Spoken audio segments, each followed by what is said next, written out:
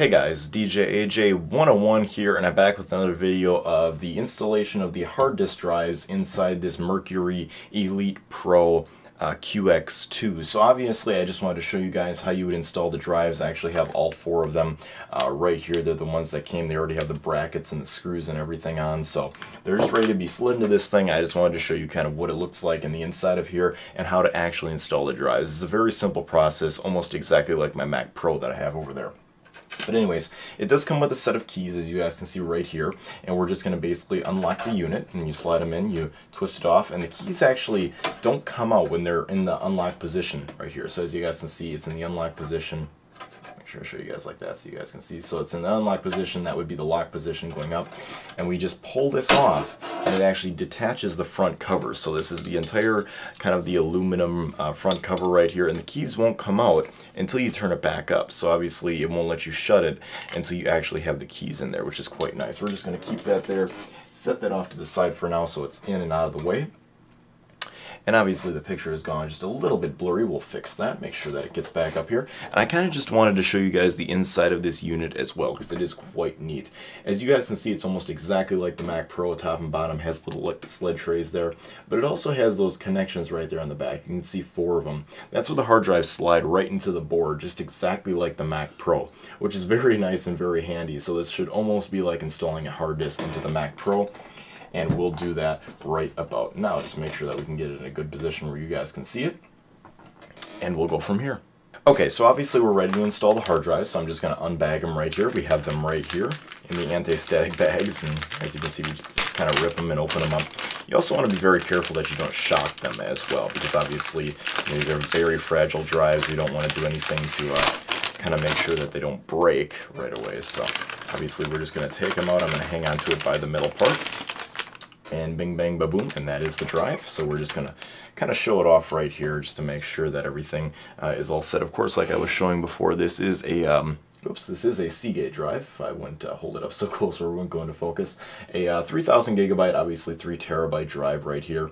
It is the uh, Barracuda series and it's just a standard hard drive inside of this plate that has a metal and of course these plastic brackets around as well as it says um, A right here with the uh, little turn knobs there. So obviously it has A, B, and C right here, so we're just going to slide this into uh, slot A and see how easy this actually is. So we slide that in. Now I should just be able to screw that in like so. And that looks to be it, guys. That's how easy it is to install the hard drives. I wasn't expecting it to be this easy, but the hardest part has been taking it out of the bags thus far. So we'll just do the last three here.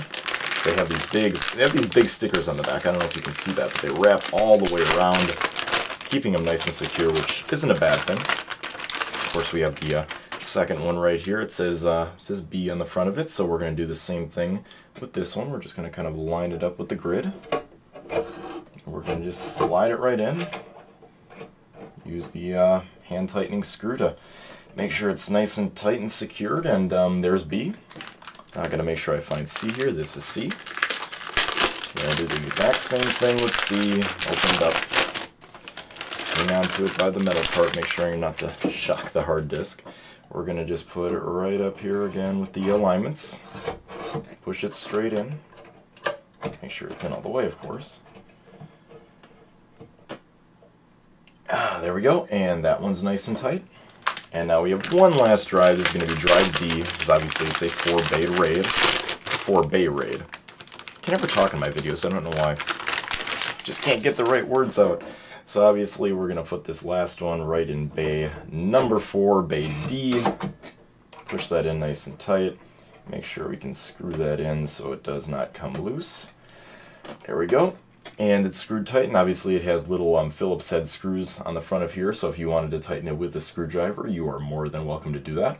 I also just wanted to also show you guys up here because obviously this is where the lights shine through with the big fast safe and then the uh, RAIDs as well and actually this is a little dial that you would use with a little flathead screwdriver Look right up here at the top, obviously it has that little dial and you can obviously change it to whatever RAID. It has all little instructions right up here in the corner. It also has the instructions on the website and in the book. So obviously as you guys can see it's very helpful. That's where the screw actually goes in for the actual lock itself.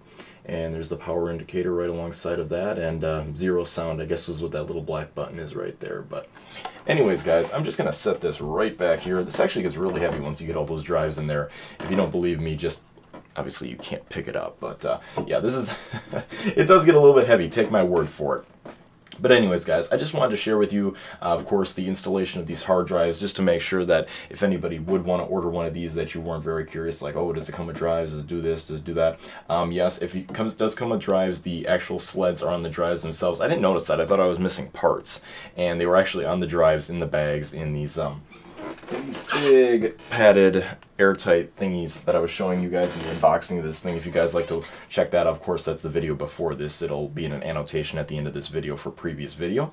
But anyways, guys, of course, this has been the installation of it, and I hope you guys have enjoyed. If you guys have any questions and or comments, please feel free to leave them below this video. I always appreciate that. Also, feel free to rate this video up and subscribe. Also, check out my YouTube channel if you happen to like my content. I very much appreciate that. I have a lot of great stuff on tech unboxings, reviews, everything like that. Basically, anything in the world of technology that I find interesting, I like to share it with you guys. So I hope you guys enjoyed. Anyways, this has been DJ AJ 101, and I will see you guys in my next video. Have a great one till then, guys.